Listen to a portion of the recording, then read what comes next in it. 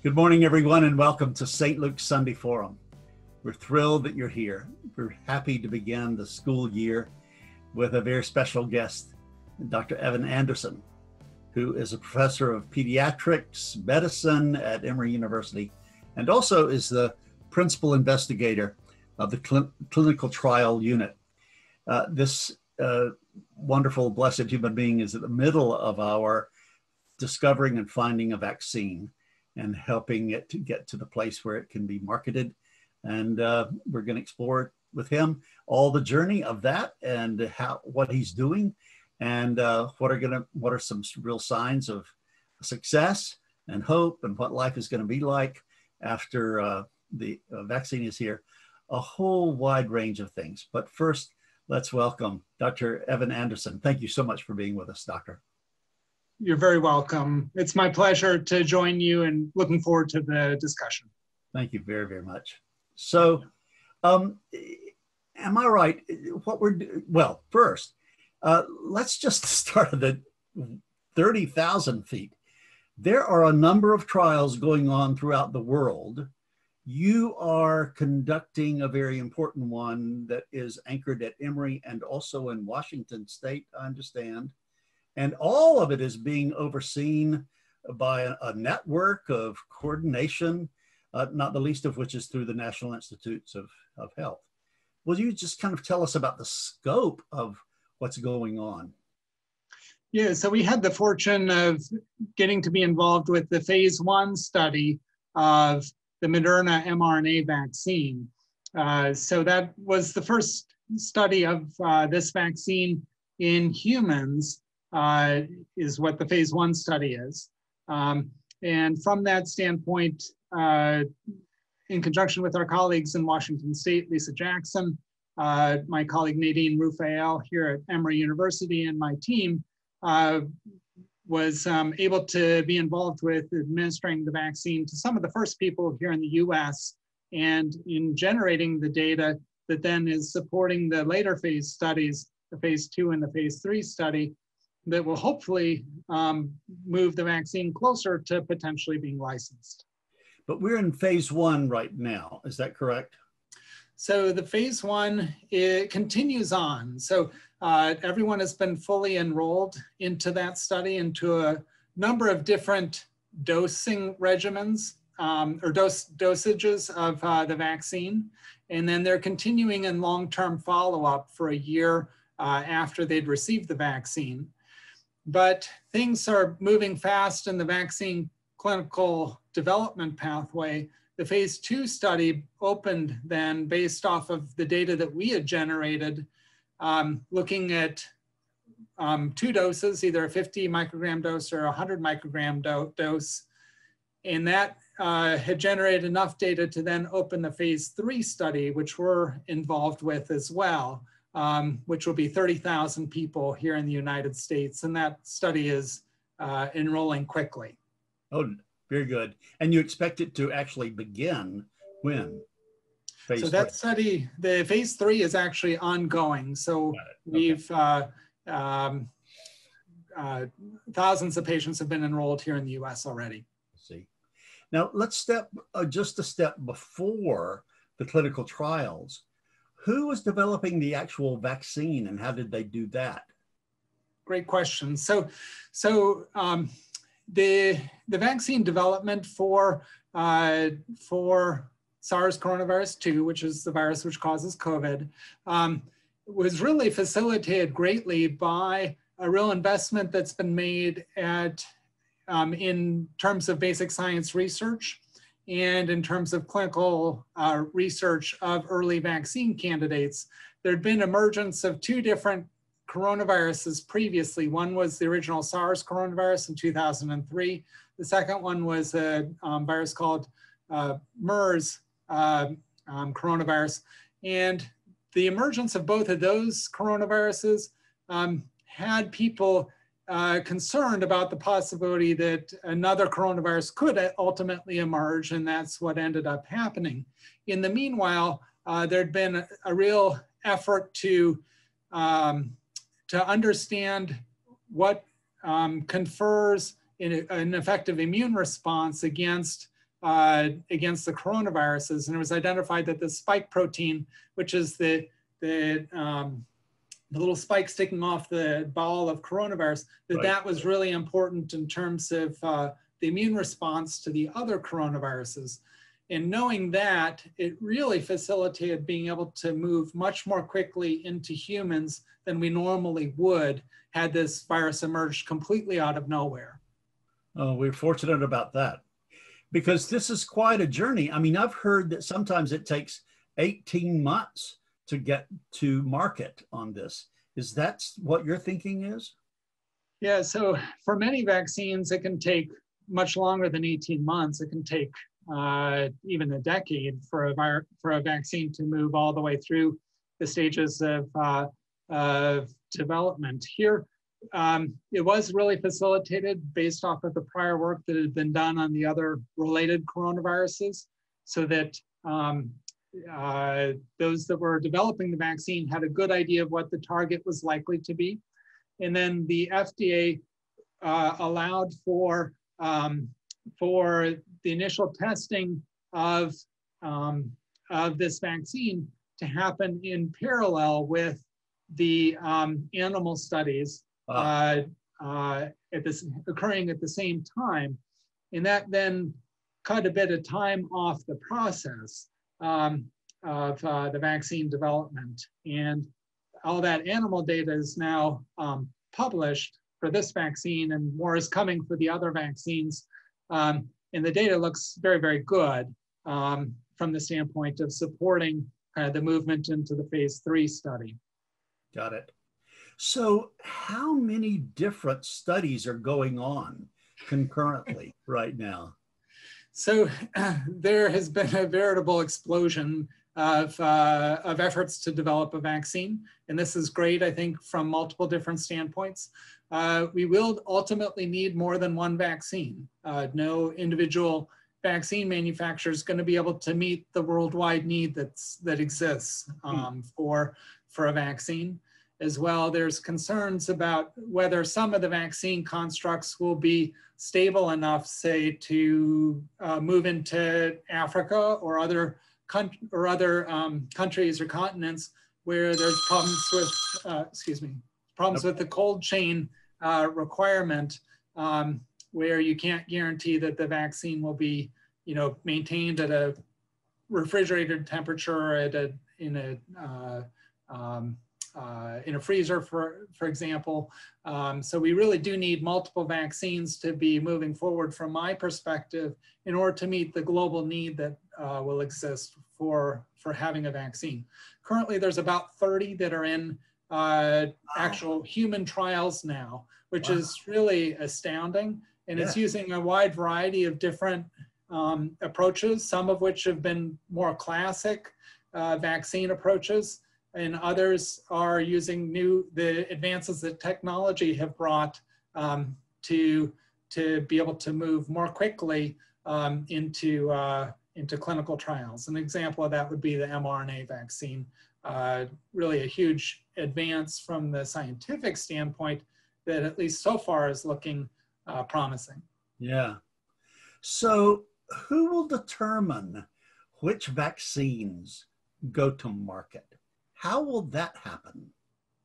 Yeah, so so all vaccines have to move through three different stages um, of clinical trials in humans. So there's the phase one study, phase two, and phase three studies that uh, need to be conducted. From that standpoint, um, the whole process is, is been developed over a period of many decades. And I think one thing that's very reassuring about that process is that uh, only one vaccine in the past 20 plus years has been taken off the market once it's been licensed uh, due to safety concern. Um, and so the process itself is very good as far as identifying potential safety issues um, that could exist. It can't pick up very, very remote um, risk, meaning one in 10,000, one in 100,000 risk, but it is a process that's been tried and tested over the course of time and, and really um, uh, is been able to generate um, uh, sufficient safety data and data supporting whether or not the vaccine actually works, um, such that uh, that uh, the public can have confidence in in uh, a vaccine that's licensed. Got it. You know, I'm flashing on being a kid. I'm 72, and so when the polio vaccine came to yep. be, we lined up in public schools yep. everywhere and we all got the vaccine. I mean, is that a kind of a imagination about what is going to happen? So that's a that's a great analogy. In many ways, I feel like this is the polio vaccine effort in our generation, um, from the standpoint that here we have a disease for which we can do very very little um, uh, besides support patients through the process, and uh, yet there can be a potential ability to completely protect against disease if the vaccine or vaccines end up being successful.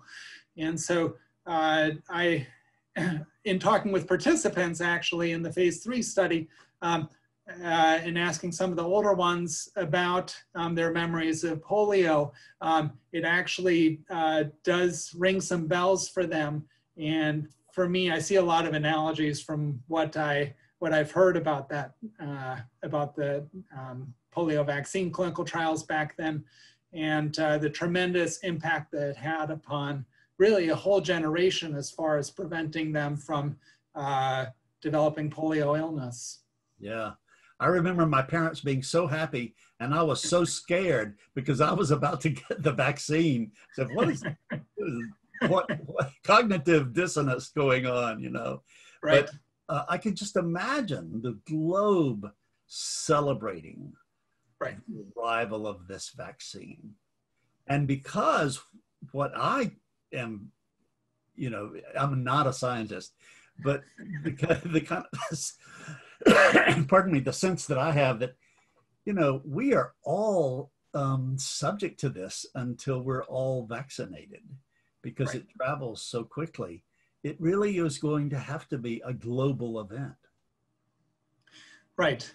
Um, from my standpoint, I, I, th I think it's absolutely critical that, that um, uh, efforts be made to develop and ultimately license vaccine worldwide and to be able to roll out vaccine worldwide. Otherwise, we will continue to see, um, see emergence of outbreaks of COVID-19 among either unvaccinated populations or undervaccinated populations, populations at risk, such as homeless individuals, um, people in nursing homes, or people that don't have a good immune response, those that are immunosuppressed. Um, so it, um, it's crucial that, um, that uh, uh, we really work hard to um, ensure that, that uh, any vaccine that is developed can be used and available to everyone. Right. It really drives home for me, from my theological way of thinking, the reality that we are one. Uh, we are a human community, not just a human race, you know. That's an excellent point. Um, I think uh, in the midst of the current uh, political um, situation and the ideologic um, uh, uh, walls that have been built up, um, uh, viruses don't care about those. Um, they, they leap through ideology and uh, unfortunately affect us all. And they remind us that, uh, that we are one community and that, um, that as such, uh, we need to be caring about our brothers and sisters kind of around the world. And mm-hmm. um, that what happens for them is relevant for us. Yeah. So beautifully said. Thanks, Doctor. Um, so, when do you think? And I'm I'm not trying to get into the prediction, you know, game here. Um, and I am a leader of a spiritual community, just dying to get back together, you know, body to body in the room. And right. we're putting a limit on 10 people outside, you know, and only like five people inside. And we have a singer in one room because of what happens when you sing and exuberant preachers in the other room because of what happens get full of the bold gospel and you know, and the organist in another room and all that kind of stuff. And um, and and we're having to say, we we can't do it. Worship has got to be safe. Yes, yes, yes. So wait, wait, wait. And I must say, I'm really dying to get with my brothers and sisters and and sing together and all that stuff. So, are when do you think that the the vaccine is going to come to market? So it it's a great question, the million dollar question. yeah. Um, uh, um, uh, the answer is as quickly as we humanly can.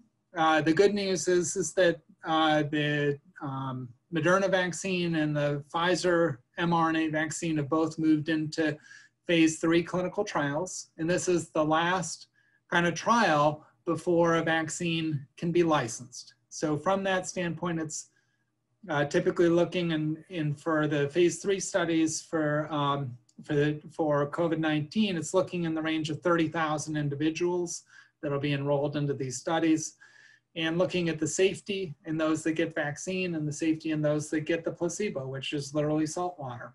And right. then as well, following those individuals over the course of time um, in the midst of everyone's daily lives, we know that there's some risk of COVID-19 and following them for any evidence of uh, COVID-19 illness and then bringing them in, doing the nose swabs that uh, you've seen on television and uh, looking for COVID-19. And then what will happen is that they'll assess um, the number of cases in those that receive the vaccine and the number of cases in those that get the placebo. And hopefully that the number of those that um, have cases in placebo is really different than the number that have it in the um, vaccine. And so from that standpoint, there's kind of a couple key questions so uh, that will determine how quickly. So it's dependent upon how many um, how many uh, individuals enroll in the study, the studies, how big those studies are. Again, here they're very, very large studies to try and get answers quickly. The burden of circulating COVID-19 at the time. So if there's very little circulating disease, it'll take longer for um, the study to have enough cases to be able to identify a difference. And then as well, um, it'll depend upon, um, well, those are a couple of the key things that, that uh, things will depend upon. Um, all of us are very, working very, very hard to try and enroll this, in our example the Moderna study, but I know the Pfizer sites are also trying to do the same thing from their standpoint, uh, such that um, hopefully we'll start to see a big divergence as far as the number of cases in the two groups. Of course, the safety is monitored on an ongoing basis. And uh, from that standpoint, any safety signal could end up stopping the study early. Uh, but people will be followed for a couple years after they receive the vaccine for kind of long-term safety. And then that'll hopefully also give us a better idea about the durability of the immune protection from the vaccine. Got it. So, doctor, after we've got the vaccine and we're pretty sure that we have a distribution system globally, um, my understanding from you scientists is that the coronavirus is not just going to go away. Uh, we are going to have to contend with it and protect ourselves from it for a long period of time. Does that also mean that we will have to participate in the mitigation um, exercises we're going? Like, are we going to have to continue to wear a mask after there's a vaccine? Oh, that that's the billion dollar question. So, ah! so, um, so here's my take, and this is uh, mostly opinion. We're we're kind of going into the area where there's not a lot of data, and uh, it's a little bit speculative, uh, but that's okay. Um, uh, but this is my opinion, and and take it for what it's worth. I think that if if uh, we can identify a vaccine that's very effective. So that's one of the key things. So vaccines may have variable efficacy, and we'll find that out from the phase three clinical trial. But if we have a very effective vaccine, And then if we can have most of the population receive the vaccine, that will help prevent ongoing transmission of COVID-19. And that'll give us the best chance of getting back to normal, so to speak. Right. And so I want to be there with you um, from the standpoint of um, being able to go to sporting events, being able to go to church, being able to do, you know, not be afraid of someone singing in uh, in the church that um, that I'm going to get COVID-19 from that individual who's singing. I, I think that if we've got a very effective vaccine, and if, and this is a big question, if people are willing to and go ahead and get vaccinated, we can really drive risk of trans risk way down um, of, uh, of ongoing transmission in the community. And that will be crucial in terms of getting us back to normal. Got it. Oh, my heart beats fast with all of this. I'm very excited. Yeah, I think all of us would love to be there, and and yeah. you know, I think for um, those in your congregation that are older, it's going to be important for them to to ensure that if there is a safe and effective vaccine, that they get vaccinated. They get. It looks like it'll probably be two doses of vaccine. Um, we'll have a better idea over the course of time the durability of that immune response. Will it will you need a booster dose at some point in the future? That we don't know. But I think another important thing to kind of keep in mind is that I think very likely um, we'll need to be evaluating the vaccine as well in children um, because we know that children in general are big transmitters of viruses. If you've ever had a child or a grandchild, you know that, that they, yeah. they, uh, they have gotten you sick probably more than once. Um, uh, and so it needs to be any vaccine that ends up being licensed will need to be tested and evaluated in kids. And then uh, if, if it looks safe and effective in that population, I think it will be needed. I mean, we're seeing kids getting critically ill, some occasionally dying here in the US from COVID-19. So, um, so ensuring that we can roll it out to the entire population and we know that it's safe and effective in all populations is gonna be really important. Uh, um, I think uh, another key thing which um, uh, had come up in the midst of discussion before uh, before we started this uh, conversation was just uh, the fact that that I do think that it will need to be available to the general population. Um, so I literally had a homeless person who resided in a neighbor's um, house actually die of COVID-19. Um, that individual slept in their basement routinely. They're very gracious people and they let him sleep there. But he actually acquired COVID-19 and was afraid to go to the hospital because of, um, because of the possibility that he would get deported. He'd, he'd uh, entered the US illegally, but he, he was so afraid of going to the hospital that he stayed in the basement and ended up not surviving COVID-19. And it's this, it's this terrible tragedy on so many levels. Um, uh, that uh, that highlights some of the issues that are going on in our country um, right now. Stay with that and, and continue to tell us about vulnerable communities that are kind of particularly vulnerable in this time. They're vulnerable in general, but um, this is su such a heartbreaking experience for certain segments of the human family. Right.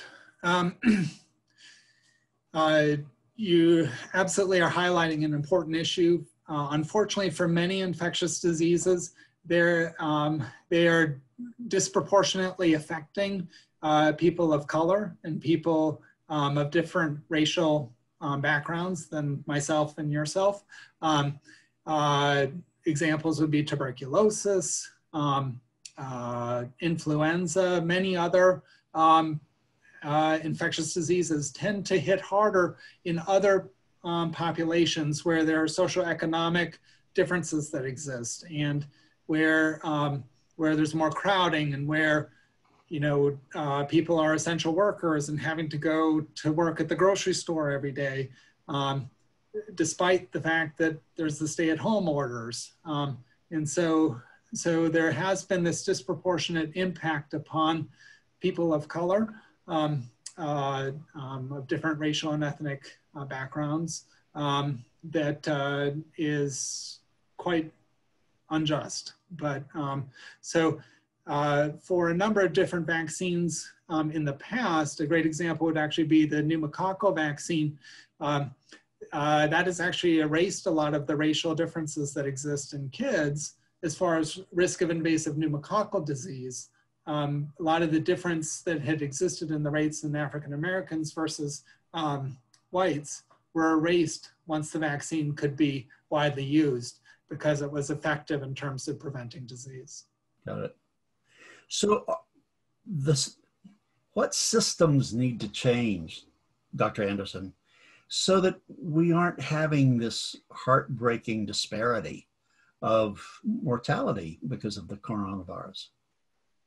Yeah, it's a great question. Um, uh, certainly, uh, access to care is a big is a big issue. Um, I think uh, for um, example of that uh, homeless neighbor of mine uh, was an issue of being afraid of you know being deported you know and and being unwilling to go to the hospital. He could have uh, i think he probably would have survived the hospital um, hospitalization with supportive care but uh, um, uh, due to just his fear of being deported he he chose not to go into the hospital. And and to the extent that we can we can improve access to care to the extent that um, that uh, um, we can um, uh, try and ensure that others that essentially everybody can receive vaccine. I think that would be very very helpful in terms of uh, uh helping us to move past COVID nineteen. Got it. Um, and there's probably even better answers than the one I gave, but uh, um, that's my two cents. Well, you brought up two very, very important policies where we need, we people of justice need to bring justice. And one is healthcare access, and another is immigration policies, so that people who are immigrants who are here are not afraid. And right.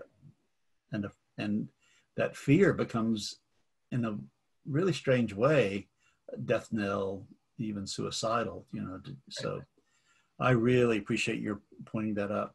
I am. I want to shift to um, a theological perspective that I have that God is in our work. And I'd love for you to just talk about your daily work. I know you get a million emails a day and all of that, and you've got a huge team to keep going. But can you just give us a glimpse into the daily life of Evan Anderson, MD?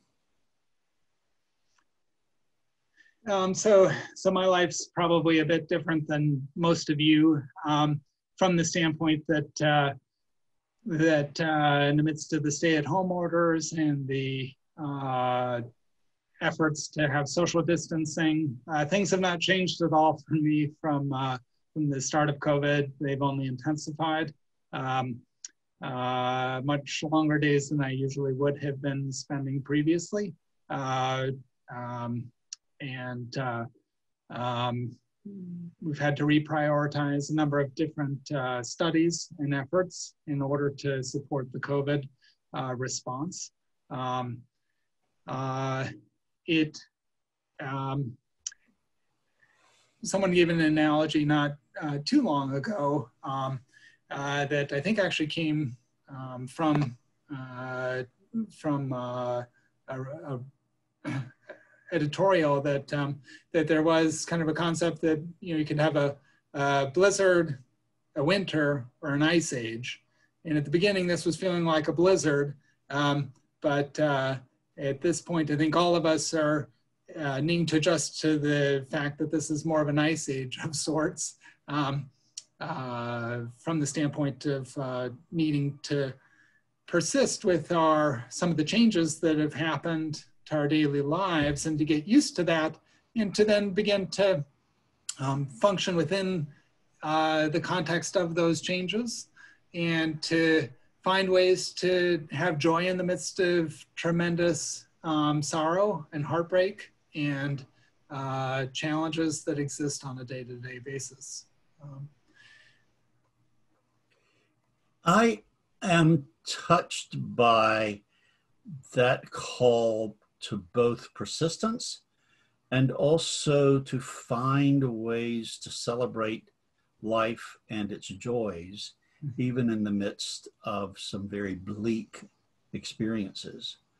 Um, what comes to your mind about how you have um, kind of evolved as um, a, a, spiritual person in in both the persistence and also without being in denial about the heartbreak, finding joys in in the midst of it.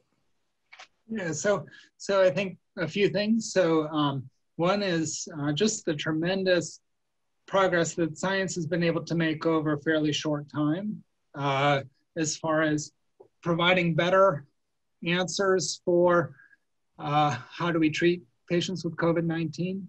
How do we help them to, um, to survive whenever possible or decrease their length of hospitalization? I think that we've had tremendous advances on those fronts. Um, we've seen tremendous compassion from a wide variety of uh, different providers um, who have risen to the challenge of um, going to work every day. Uh, for my myself, I think that um, that getting to be a part of the um, the response from a vaccine effort is incredibly rewarding, although uh, at times fairly challenging. Um, uh, I do feel like I'm making a difference um, as far as moving um, uh, vaccines forward in general.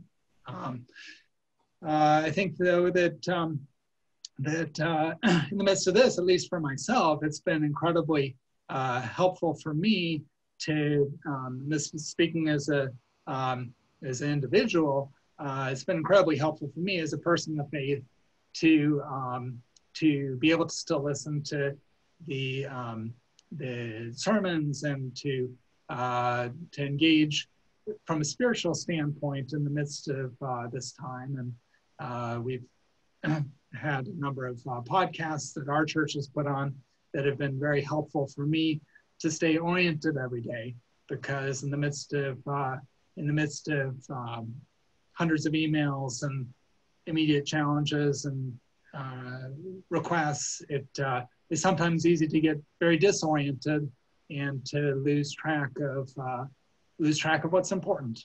And um, so I'm very grateful for, uh, in my own uh, circumstance, I'm very grateful for my own church. So can you, that, that's so important. So I, I just want to emphasize, here you are, an extremely busy person, um, an awful lot on your shoulders. And I don't want to diminish at all the fact that you really are in a rewarding situation. And the globe is really kind of applauding you and saying, go, Evan, go. And we're all really, really thrilled that you're doing what you're doing and that, that science is offering such hope to us. And yet, in the midst of all that business, busyness, you are taking time to keep yourself focused and centered. Mm-hmm. Um, can you can you give us a little bit more of that because I think that's an inspiring thing for everybody who's listening no matter how challenged your life is right now, either by busyness or bleakness, that we all have the responsibility to stop and get a word of fortification and hope and centeredness. Can you just say some more about that? Yeah, I think that um, it's been a very disorienting time for many people. Um, we've lost our social interactions. We've lost our ability to go to sporting events. We've lost our ability to um, engage with our neighbors. We've lost our ability to to uh, be in, have physical touch um, for some people uh, who've had to shelter in place and you know may not have any family. Uh, I really feel for those people because you know, I'm very blessed with having a wife and kids who I can hug at the end of the day, and and uh, yet many people don't have that. Um, for me, though, it is um, in the midst of a million competing demands. It is um, quite a challenge to um, to remain tethered to to kind of what's important. That um, as important as this work may be, um, uh, um, ultimately at the end of the day, it probably won't be on my gravestone. Um, uh, it'll um, I'll be buried next to my wife, I'm sure, but uh, hopefully close to my kids.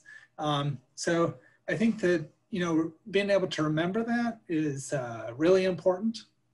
And being able to remember that, um, that,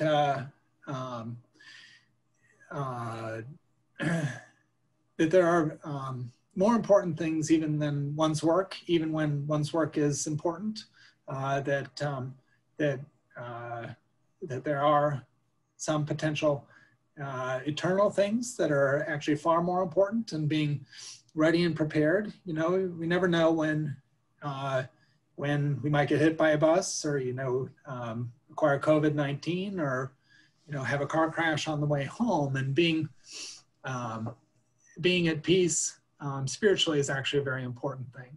Yeah, and also the people around you, Dr. Anderson, feel that peace uh, I hope so.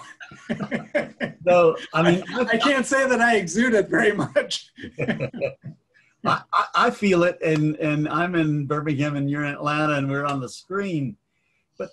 I'm such a strong believer in the fact that we are in community and the communities we live in emit certain vibrations of love and peace and joy. I mean, the fruit of the Spirit um, right. Galatians 5.25, and um, or the opposite. And uh, and I do believe you scientists who tell us that our neurological functioning is accelerated when we are centered and peaceful and joyful and playful as opposed to being fearful and i i know that your team and also all of the people who've volunteered to be a part of the study, uh, who come in, t- in contact with you are, are feeling that. I'm really, really grateful for that. Yeah, I, I certainly hope so. Yeah. I, I think that um, one of the amazing things is uh, uh, that um, example that's set for us um, in terms of the person of Jesus Christ is such a um, amazing individual on so many different levels that um, that you know in comparison to to um, his characteristics all of us fall clearly far short. And uh, um, yet uh, um, to continue to have such a high standard but also the grace to live in the midst of one's own weaknesses and failures is important. Yeah. And and also um, I, I just, I love the fact that he not only believed in love, but he believed in this dimension of life that we call eternal life that we can yes. go ahead and experience now. And, uh, and it has all this resurrection and resuscitation uh, qualities about it. So I'm, I'm really grateful for you. Thank you so much. And I'm really grateful for this time. Did I you know, I again I say I am not a scientist. Were there obvious questions that I did not ask that I should have asked that my people are going to be very very interested in in terms of the vaccine or anything else having to do with the virus? So, so I, I think um, the good news is is that there's, uh, you know, it looks like probably six candidate uh, vaccines that, that um, Operation Warp Speed will be funding um, uh, in through phase three clinical trials with several different approaches to, uh, to the method of um, developing an immune response. And as such, uh, even if one method is completely not successful, there are several other approaches or methods that that um, that do exist. And so I think that that uh, does provide a tremendous amount of uh, uh, hope actually at this point in time that um, that we are seeing things move through uh, relatively quickly. We haven't identified any big issues with any of the vaccines so far to date, and it does give us a good bit of hope that that the masks that we're all wearing, that the social distancing that we're all experiencing, the separation, all those things are hopefully going to end up being a temporary rather than a permanent uh, thing. And uh, that that is, I think, an important message for people to hear. Hang in there with your masks. Hang in there with taking care of yourself. Um, uh, we are making progress. It's not as it's about as fast as we could hope for. Uh, it's not as fast as any of us would like, but um, uh, we we do hope that um, that it won't be that terribly long till we have one or more vaccine options. It will be, I think, a challenge once the vaccine is licensed uh, from the standpoint that, uh, that there will certainly be some limitations as far as the number of doses that are available and some recommendations about who can kind of get vaccine first and then uh, which groups get prioritized and so forth. That'll feel hard, but um, that's actually a good problem to have. Um, uh, the people that make those decisions will, you know, try and make the best decisions possible and hang in there. Uh, I think that um, that uh, hopefully next year, uh, next summer, we'll be in a much different state than we are right now. Very good. That's a pretty strong blessing right there, my friend. thank you very much, and You're thank welcome. you, thank you for your time, and thank you for your work. It was a great honor to meet you and have a conversation with you. It was my pleasure. Really enjoyed talking with you. Thank you. Same here. Best wishes to you and to your congregation. Hang in there. Um, there is hope that, uh, that you'll be back in uh, uh, listening to uh, uh, Reverend Bacon before too long. Thank you, my friend. And You're thank welcome. you all for joining us. We'll see you next Sunday. Goodbye.